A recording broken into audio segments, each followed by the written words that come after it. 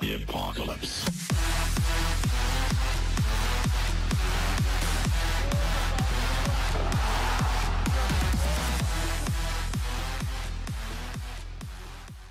Antes de comenzar con el video, no olvides suscribirte y activar la campanita de notificaciones para que no te pierdas ninguno de nuestro contenido. El equipo de los Padres de San Diego, luego de ser apabullado en los partidos anteriores por los Diamondbacks de Arizona, pudieron tener un respiro. Esto tras el regreso de Fernando Tatis Jr., quien llegó como primer bate en el line del equipo y como right field, para de esa manera aportar a una victoria de 8 carreras por 2. Se ha vuelto una costumbre que luego de una lesión, el joven dominicano vuelve con una impresionante agresividad en su bate. Esto lo decimos, ya que por tercera vez que regresa en el primer partido, luego de la lesión, se va para la calle. La sacó el 16 de abril después de haber estado fuera desde el día 5 de ese mes y lo volvió a hacer el 19 de mayo, conectando honrón en su regreso tras su ausencia desde el día 9.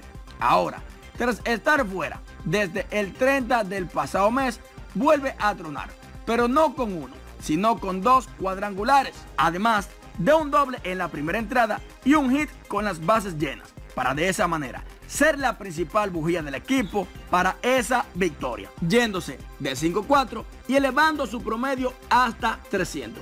El All-Star de 22 años, que batió primero en la alineación, pegó el doble tras una fuerte línea al jardín izquierdo en su primer turno al bate, pero solo avanzó hasta la tercera para terminar esa entrada sin anotación.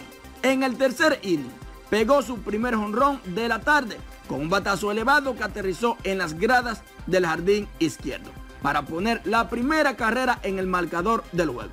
Pero no se conformó con eso, ya que en la quinta regresó con otro impresionante cuadrangular, también solitario.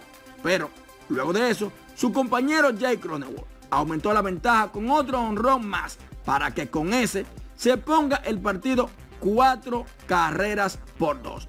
Pero Tati, tras regresar en la octava entrada, recompensó los dos honrones solitarios, conectando un hit por el centro del terreno con las bases llenas, para de esa forma traer dos más para la goma y dejar el partido seis carreras por dos.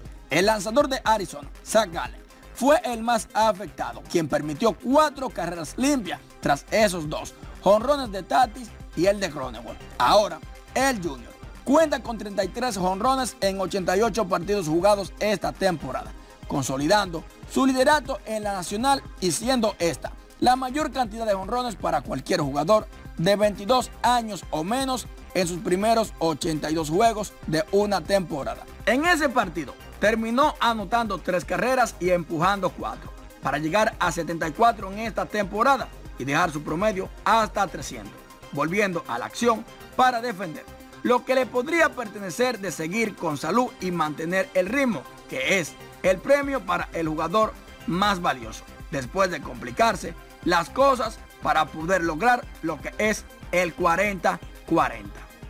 ¿Qué te parece? Nos gustaría saber tu opinión, así que déjala en la caja de los comentarios. No olvides suscribirte, compartir y dar like. Yo soy Marfri Moreta y esto fue Infantil Sport. Hasta la próxima.